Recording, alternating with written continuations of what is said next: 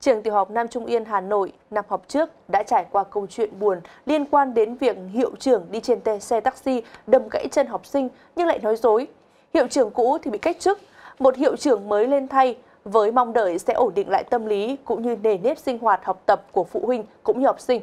Thế nhưng trường lại tiếp tục bị phụ huynh tố là cho học sinh ăn chơi đạm bạc và dồn tiết tiếng Anh vào buổi sáng khiến cho học sinh thiệt thòi trong việc học hai bài. Và không trốn tránh như vị hiệu trưởng cũ, tân hiệu trưởng trường tiểu học Nam Trung Yên đã đồng ý gặp mặt báo chí để giải thích các vấn đề được đề cập ngay khi có tố cáo. Theo hình ảnh ghi lại được của phụ huynh, thì con mình chỉ được ăn rất ít cơm, thức ăn và rau trộn chung trong một bát.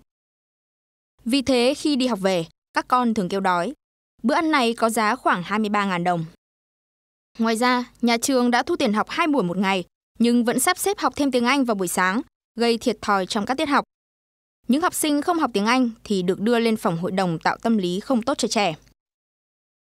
Ông Trần Văn Hà, tân hiệu trưởng trường tiểu học Nam Trung Yên cho biết, việc đưa học sinh lên phòng hội đồng để học với giáo viên chủ nhiệm không phải là hình thức gây tâm lý ép học sinh học tiếng Anh, mà là do trường không có phòng học thừa. Nhà trường không làm thiếu hụt tiết học của học sinh theo quy định. Tuy nhiên, việc xếp tiết cũng chỉ đạt được mục tiêu tương đối. Sang tháng 11, Trung tâm tiếng Anh liên kết với nhà trường sẽ chuyển giờ học sang buổi chiều. Về bữa ăn, ông Hà cho biết vẫn sử dụng đơn vị cung cấp thức ăn với nhà trường từ những ngày đầu thành lập.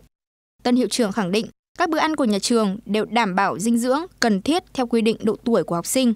Và bức ảnh được đăng tải có thể là bát cơm, các con đã ăn xong lần 1 và xin thêm những lần 2, lần 3.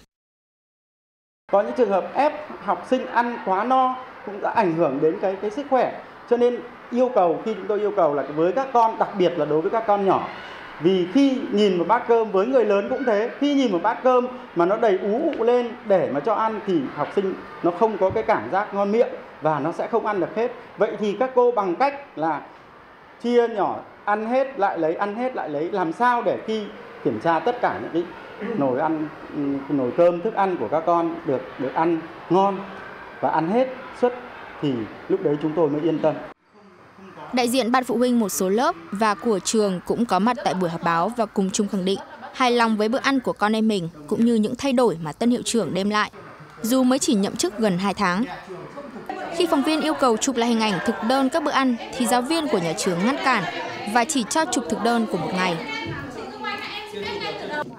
Trong số 30 ngày được lưu lại thì có 2 ngày thiếu phần ngày tháng. Con thấy cơm ở trường thế nào? Con thấy cơm ở trường ngon ạ. Con ăn có đủ no không? Có ạ. Đấy rất là ngon ạ. Con ăn có no không? No. Hôm nay con nhớ là có món ăn gì không? Hôm nay là ăn uh, con cũng không nhớ. Thế uh, bình thường thì cô giáo sới cho con là đầy hay là vơi bát? Ăn vơi bát bình thường bạn nào ăn ít thì cô cho ít. Chiều ngày hôm qua, Phòng Giáo dục Đào tạo quận Cầu Giấy đã xuống trường xác minh những thông tin liên quan đến bữa ăn bán trú của học sinh và sẽ đưa ra kết luận cũng như giải quyết sự việc.